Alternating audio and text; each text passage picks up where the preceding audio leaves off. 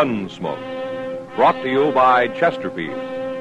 Chesterfield packs more pleasure because it's more perfectly packed, thanks to Accuray.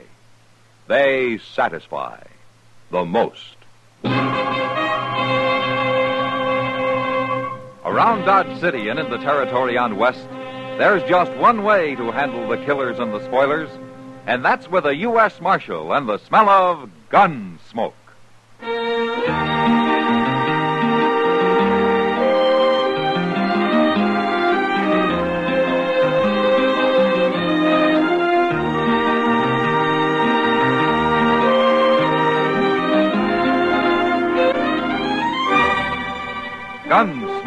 Starring William Conrad. The transcribed story of the violence that moved west with young America.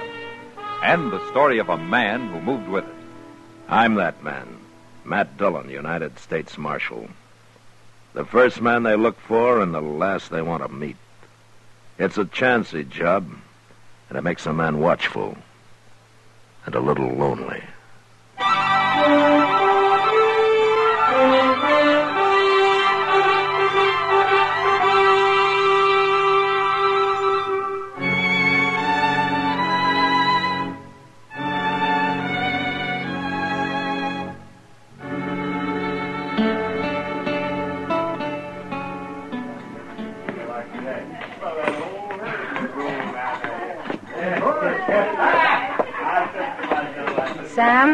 Kitty, what'll you have? uh, I'm going out to Delmonico's for something to eat.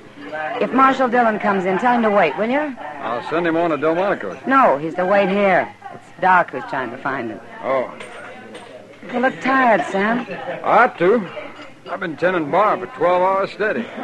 Well, what happened to the help you hired last night? You had the wrong idea, Kitty. Huh?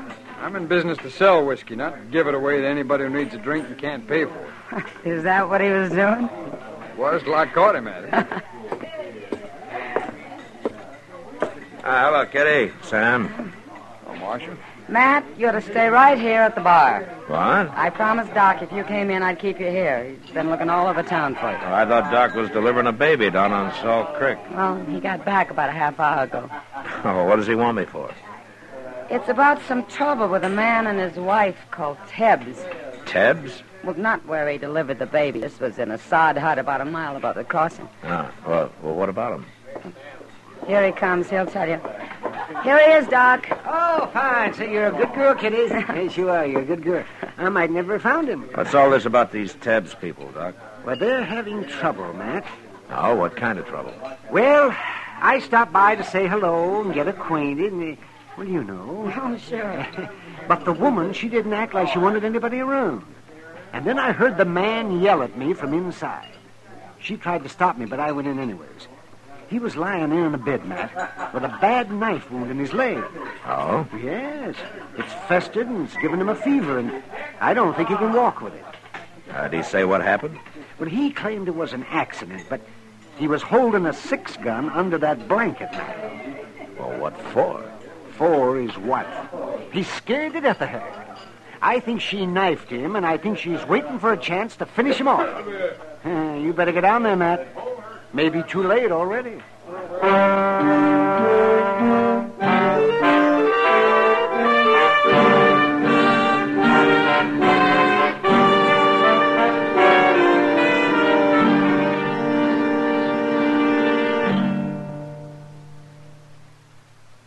Introducing one of the country's best known jazz musicians and arrangers, Mr. Bobby Haggart. How about whistling along with him?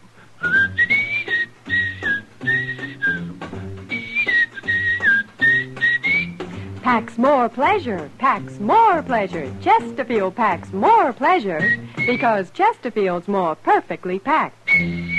The more perfectly packed your cigarette, the more taste and mildness are released for you.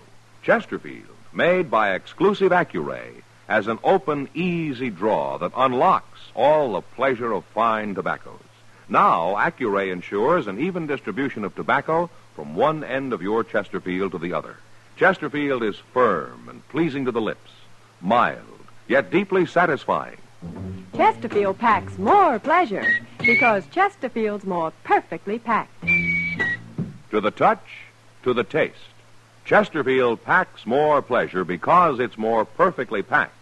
By Chesterfield. Mild. Yet they satisfy the most.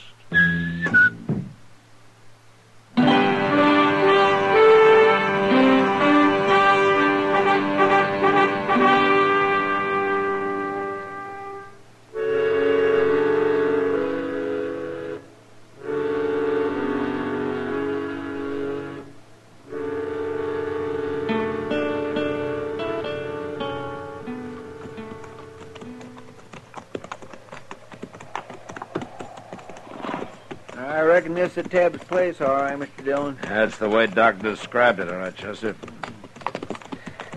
Including the wife out there hoeing in the dirt. She's letting on she don't see us.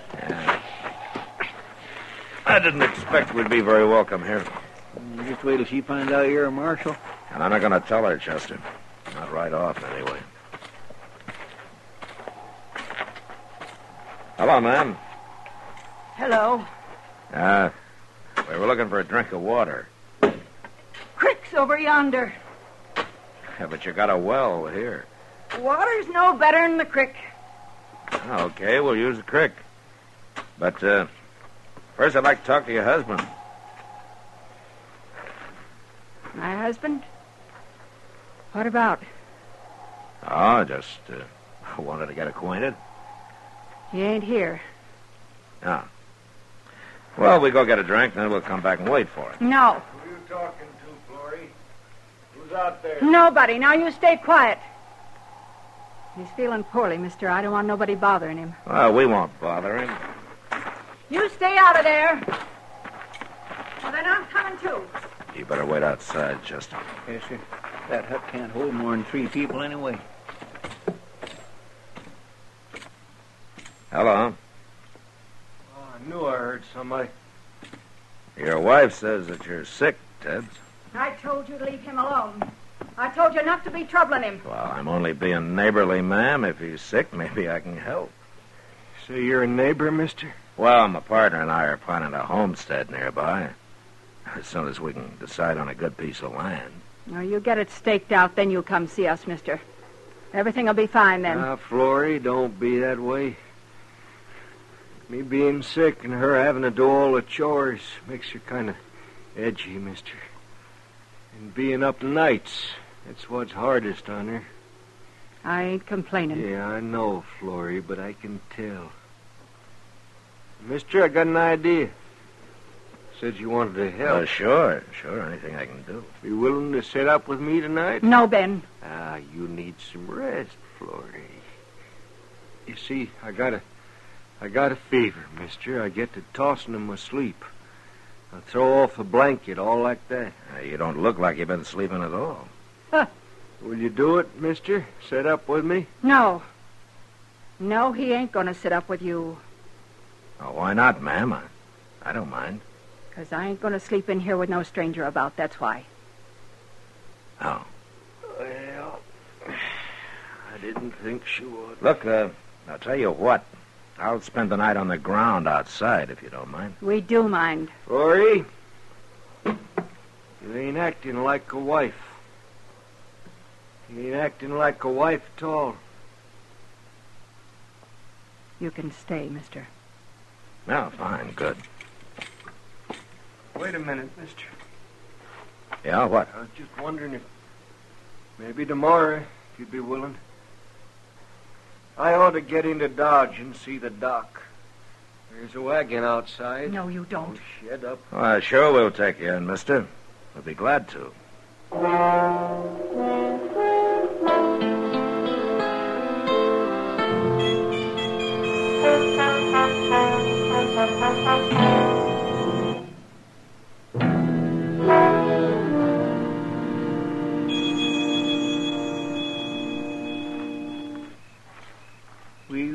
going to drive him into Dodge tomorrow, Mr. Dillon? Yeah, we better. Well, why don't she want him to go? Well, I guess Doc was right, Chester. She put a knife in him, and now she's trying to finish him off.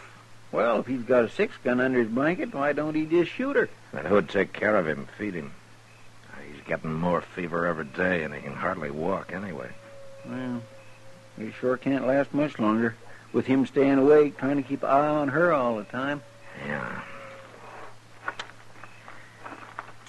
Chester, I think I'm going to go in there and tell him who I am and load him into a wagon tonight. This has gone on long enough.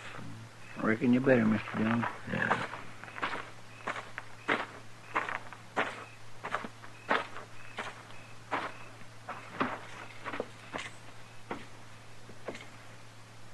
Where's your wife? She went around back, mister. Look, uh, Tebbs. Hmm? I'm going to take you into Dodge tonight. You are? Oh, that'll be fine.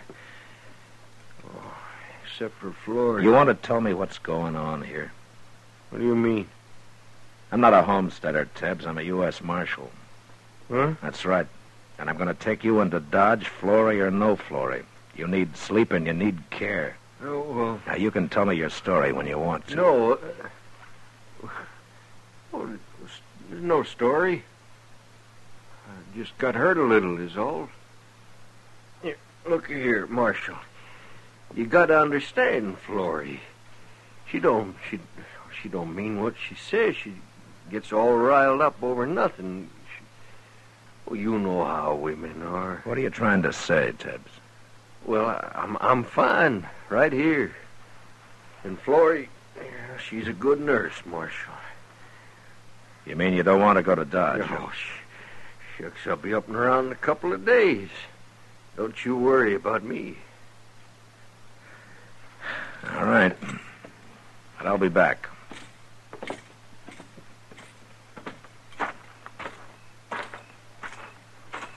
Chester. Chester.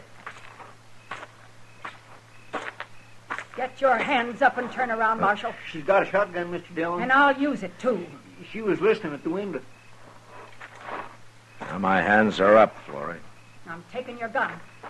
She got my gun, too, Mr. Dillon. You're making a bad mistake, Flory. I won't have you nor nobody else meddling where you don't belong. Now get your horses and ride out of here. All right? But we'll be back. I'm going to be setting right by that door, Marshal. First thing I see or hear gets a load of buckshot. It won't be us, Flory. But we'll be close enough to hear if you do shoot somebody.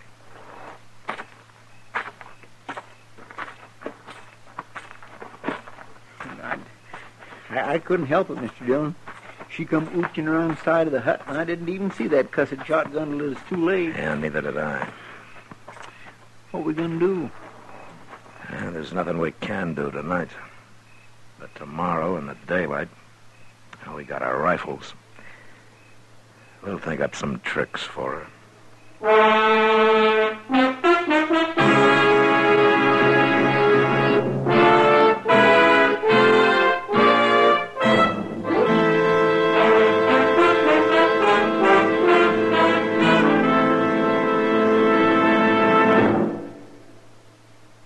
Where are you listening to Gunsmoke? In your favorite easy chair? Or out driving? Oh, there you are. In the kitchen. Say, you want to make whatever you're doing more enjoyable? Have a Chesterfield. Enjoy Chesterfield's better taste and mildness. You see, Chesterfield packs more pleasure because it's more perfectly packed. A more perfectly packed cigarette gives you an open, easy draw that unlocks all the better taste and mildness of fine tobaccos. And Chesterfield, made by exclusive Accuray, is more perfectly packed, with an even distribution of tobacco from one end of your Chesterfield to the other. Firm and pleasing to the lips, mild, yet deeply satisfying. Remember, to the touch, to the taste. Chesterfield packs more pleasure because Chesterfield's more perfectly packed. Buy Chesterfield. Mild, yet they satisfy the most.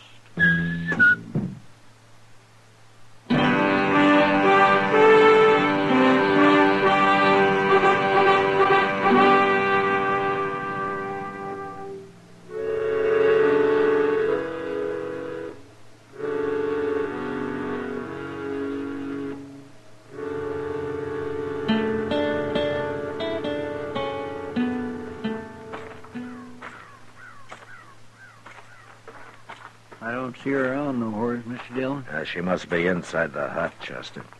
Well, I hope she don't come charging out of there with that shotgun blazing. it would be a bad way to start the day, wouldn't it? I can't think of none worse, especially on an empty stomach. Oh, there she is. Hmm? Now, wait a minute. It's all right. She isn't armed. Come on over here, Marshal. Now, what's she up to? It's hard to say with a woman like that. I thought you'd be back this morning. Yes, and I told you we would. We're going to take your husband into Dodge, ma'am. You're too late, Marshal. Too late. He died during the night. What? It was too much for his heart. He always did have a weak heart. Where is he, Florrie? Lying there inside, Marshal. Why? Don't you believe me? I believe you, but I want to have a look at him. What for? I got him all wrapped up in his blanket, ready for burying. You'll go dig a grave for him if you want to help so much. All right, we'll dig a grave after I've seen him. You got no respect for the dead, Marshal? It's the living that bothers me right now, Florrie.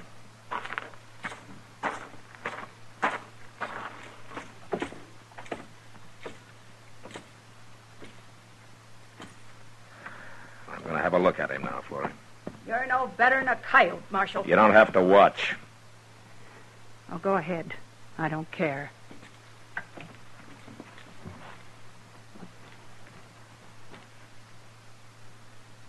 I'll unbutton his shirt here.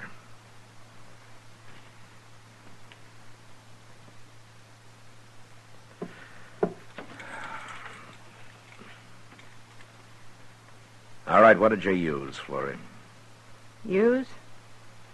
For what? I might have known he couldn't stay awake forever. He fell asleep and you stabbed him in the heart with a needle or something. That doesn't show much, does it? All right, I'll tell you. Don't matter none anyway. I I killed him. Why would you want to kill your husband, Florrie? My husband. He wasn't my husband. He killed my husband, Marshal. We never seen him before. He rode by here and started trouble. Over me it was. My husband pulled a knife, but but he shot him. And I swore I'd kill him for it, and I did. Why didn't you explain all this to Doc Adams when he was out here? Or to me last night? And let you take him and hang him? I had to kill him myself, Marshal. It's a promise I made my husband while he was dying. And I'm going to have to arrest you. You can't do nothing to me for this. You murdered a man, Florrie. You're wrong, Marshal. You just admitted it. Well, I ain't doing no more talking. You take care of him, and we'll go into Dodge. But I won't be in jail long, you'll see.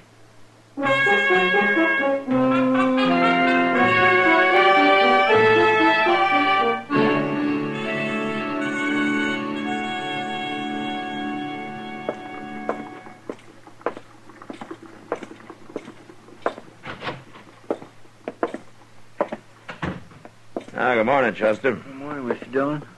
What you got there? That's a mail. Oh, did you pick it up? Yeah, I picked it up. I was down there anyway. How's Florrie? She ain't said a word. Go get her, will you? Go get. What for? She was right, Chester. I can't keep her in jail. But, Mr. Dillon, we just Go can't get her, will you? Yes, sir. All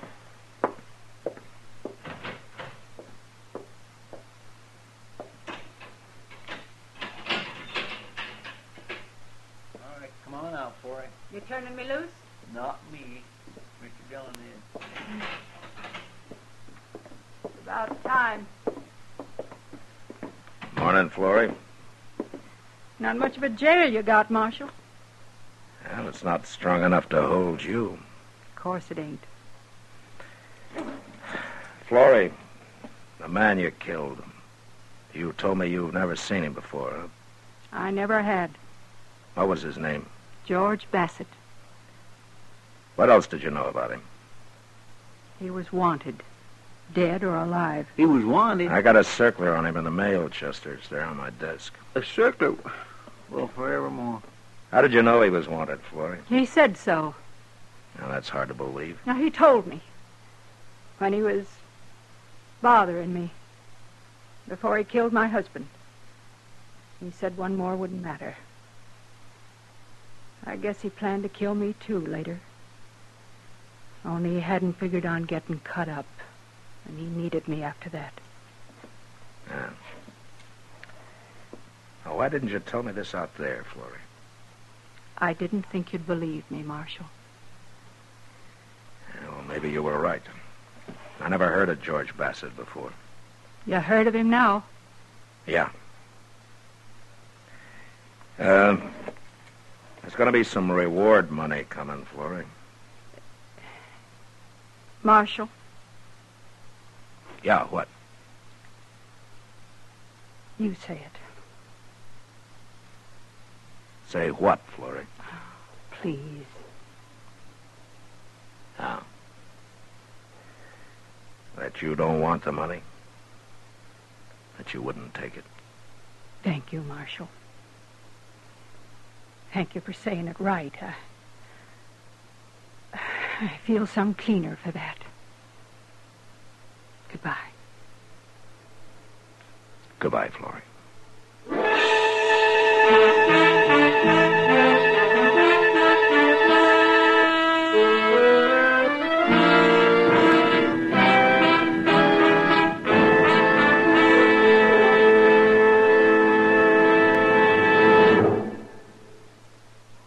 In a moment, our star, William Conrad. Chesterfield packs more pleasure because Chesterfield's more perfectly packed. Chesterfield, made by exclusive Accuray, packs more pleasure because it's more perfectly packed. Unlocks all the pleasure of fine tobacco. Chesterfield packs more pleasure because Chesterfield's more perfectly packed. Firm and pleasing to the lips. Chesterfield. Mild. Yet they satisfy the most. You know, on the frontier, almost anybody who had a few dollars could open a bank of his own. And by the same token, anybody who had a gun could try to rob it. And next week, a man does. And that was the West. Good night.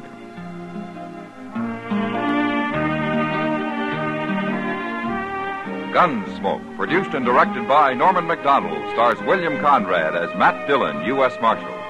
Our story was specially written for Gunsmoke by John Meston, with music composed and conducted by Rex Koury. Sound patterns by Tom Hanley and Bill James. Featured in the cast were Helen Kleeb, Lawrence Dobkin, and Stacy Harris. Parley Baer is Chester, Howard McNear is Doc, and Georgia Ellis is Kitty.